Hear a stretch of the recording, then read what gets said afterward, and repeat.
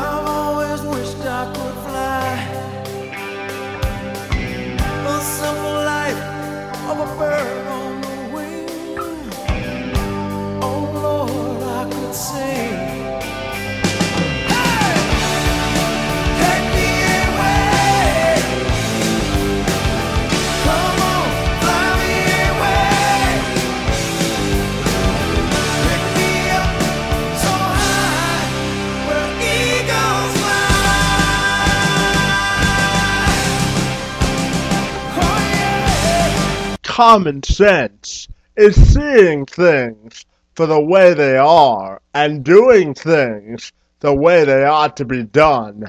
For Philadelphia Eagles head coach Andy Reid, his quarterback situation has now become crystal clear. Reid decided to reverse course on Tuesday, deciding to stick with Michael Vick under center a day after he told the media that he had intended to switch back to Kevin Kolb. When you have someone playing at the level Michael Vick is playing, you have to give him the opportunity. This isn't about Kevin Kolb's play. You're talking about Michael Vick as one of the best quarterbacks in the NFL right now, Reid said. Vick received his first start on Sunday since December 10th, 2006, when he was still a member of the Atlanta Falcons. Atlanta defeated the Tampa Bay Buccaneers in that contest 17 to 6 on Sunday. Vick led the Eagles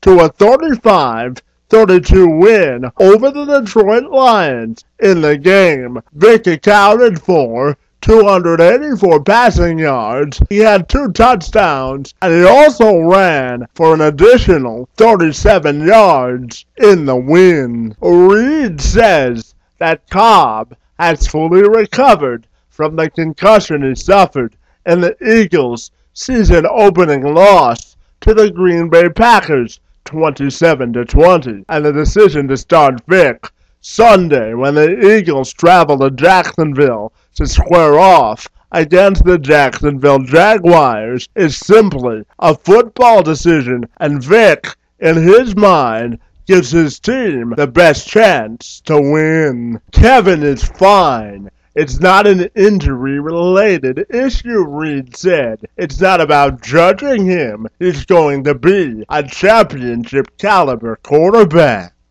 Reid says that Philly fans have no reason to worry about the quarterback situation in the city of brotherly love because regardless of who he selects to put under center, he believes the team is in good hands. I think it's a beautiful situation, Reid said. I look at it differently than other people look at it. I've got two quarterbacks who can play a very important position. I'm a happy guy about it. There are a lot of teams that don't have good quarterbacks, ones they feel they can win with. I feel we can win with both of those guys, he said. A three-time Pro Bowler during his six seasons in Atlanta, Vick missed the last two seasons after serving 18 months in federal prison for his role in a federal dogfighting operation. He signed with the Eagles before last season in an attempt to resurrect his career, but he's played sparingly behind Donovan McNabb, who's now in Washington with the Redskins, and Kevin Kolb, the incumbent starter in Philly. The road to recovery for Vick has been a long and arduous climb, but Reid says he's encouraged by the steps the eight-year veteran has taken in order to turn his life around, and he says that Sunday's victory over the Lions is a step in the right direction. I'm very proud of him. It's a true testament that if you work hard and keep your nose clean, good things will happen, and he's worked extremely hard at both of those things.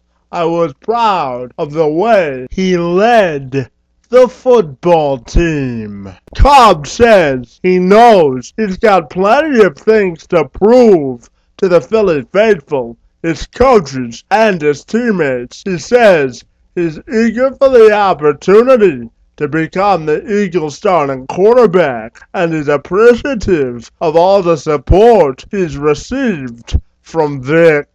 I've got to prove it too. That's the competitive nature of everybody, Kolb said. Andy is loyal to everybody and is a trustworthy guy. He does what's best for the team, always, and I appreciate the words that Mike had to say, he said. Kolb has started a total of two games in his first three seasons with the Eagles before Donovan McNabb was traded to Washington this offseason and Kolb was named the starting quarterback for the Eagles. Vick says he's elated at the opportunity to become a starting quarterback once again and is appreciative of everything the Eagles have done to steer him on the right path. But he does admit that he would like a permanent opportunity to be a starting signal caller in the league next year. Hopefully, somebody will give me that opportunity next year. And if they do, they'll get 110%, he said. Opportunity is what occurs when preparation, hard work, dedication, and a little bit of luck have a chance to intersect. For Michael Vick, he's now been granted his second lease on life and another opportunity to become a starting quarterback in the NFL. Now it's his responsibility to grab the bull by the horns and run with it. He now must prove that he's deserving of all the trust and confidence the Eagles have bestowed upon him. Kevin McShan, McShan, Sports Beat, report.